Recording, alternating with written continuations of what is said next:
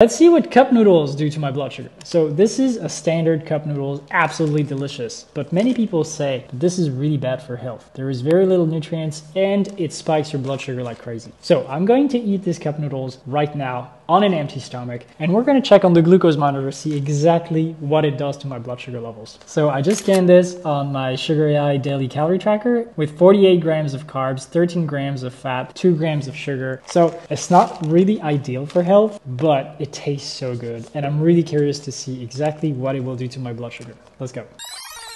All right, it's now been exactly two hours since I ate my cup noodles, and let's now look at the glucose monitor to see exactly what happened. I hope this is not going to be too high because I really enjoyed eating cup noodles. It's been a very long time since I was a student that I didn't eat these. I hope that the spike is not going to be that big because I really enjoyed eating these cup noodles. It's been probably 10 years I didn't. I'd like to eat it more often it's not good.